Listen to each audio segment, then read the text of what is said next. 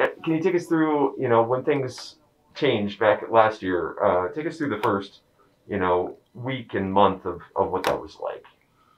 Well, I think it really hit reality about March of 2020 when we found out that we basically closed down the operations altogether. So, um, which meant we stopped jury trials was a big thing, and then we started to do more of these Zoom and WebEx hearings. So what what happened is then we had to kind of cobble together some TVs and cameras and what have you. So we were ordering PPE supplies and trying to get um, webcams and little things. So and everything was on a glut. So, but finally we got got everything we needed, you know, through you know May, June, and and at that time we still were closed down and we are trying to rent facilities, have jury trials, and do things. But the end of the day, every place we tried, they assumed they were going to get up and running again, and, and of course that didn't happen. So what happened was we ended up going to the county got some CARES Act money, so we went down to the county board in August of last year and asked for 650,000 to do about four or five different initiatives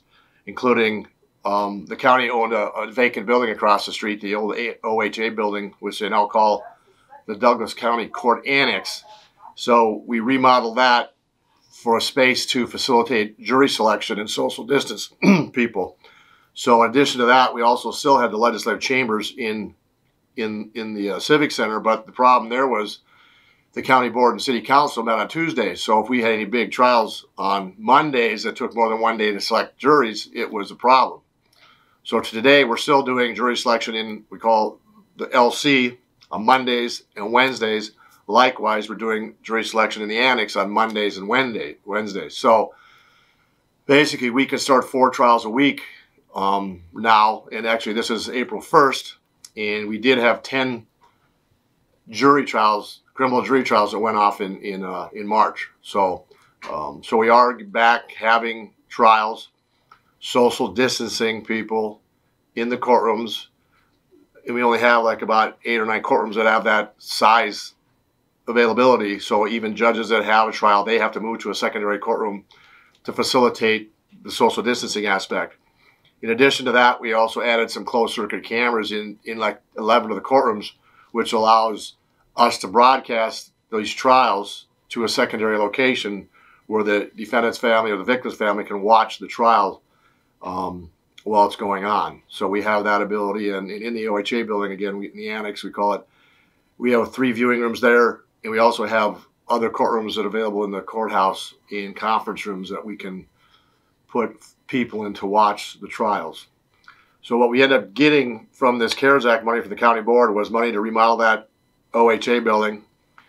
We also got money to do courtroom video conferencing, which was to get um, better equipment, TVs and cameras to facilitate the Zoom and WebEx hearings. And we also upgraded some of the sound systems that that um, that were lacking.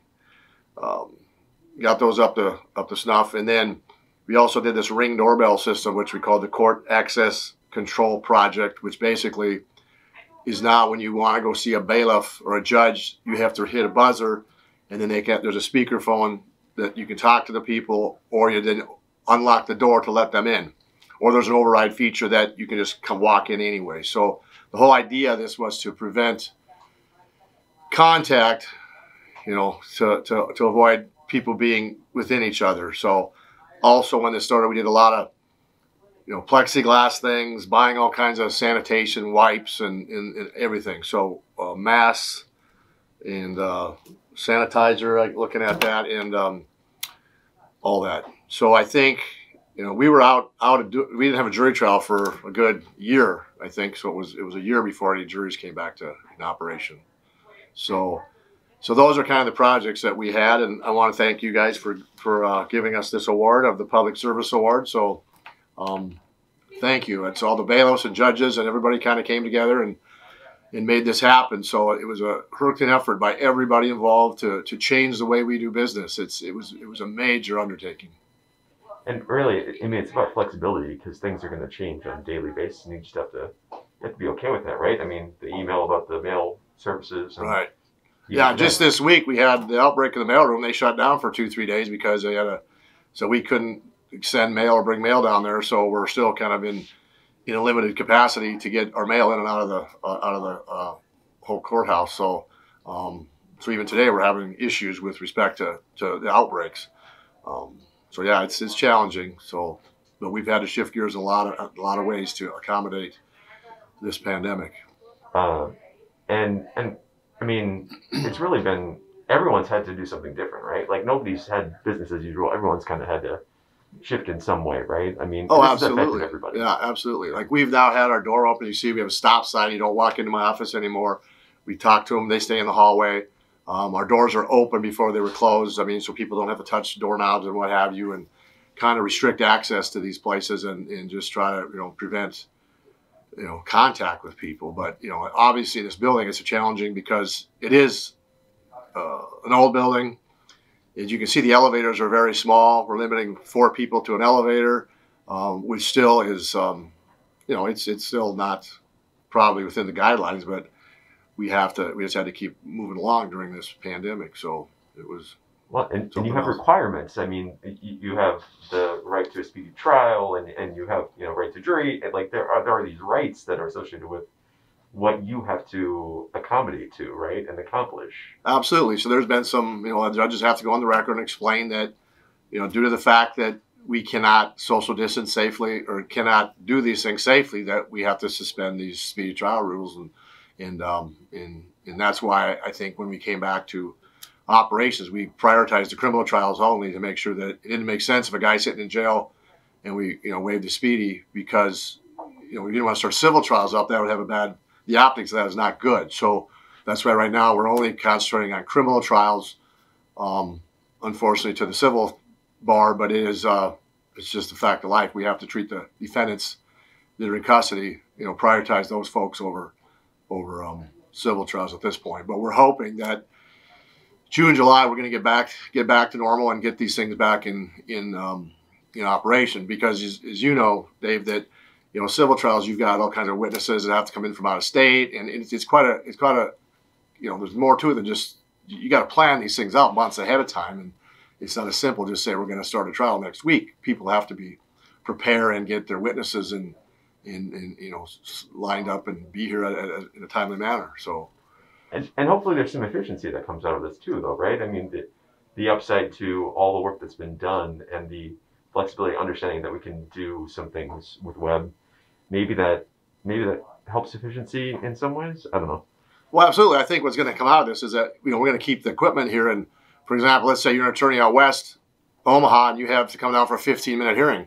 Well, why drive down here, park, spend an hour, and you know half hour driving down here, and then so I think what's going to happen is we're going to use the WebEx more, and then it'll be um, more efficient for those kind of hearings that that would prevent traveling down here, and, and um, so we can see this moving on in the future as really being kind of a you know a, um, a positive thing in a way that came out of this that we're going to be, be able to use technology going forward in a, in a more efficient manner for people. But we also know that the, there's magic to being in the courthouse and seeing, you know, judges and attorneys and, and you know that sort of stuff too. So we don't want to tell everybody to stay. We don't want this to become the federal courthouse, right? Where nobody's no, there. you still want the decorum and have the you know all the. But if there's hearings where the client's not here and those types of things, and you know, there it, it makes sense to, to not be here in certain certain instances. But yeah, but I think yeah, we still want to have the still have the uh, the in person hearings.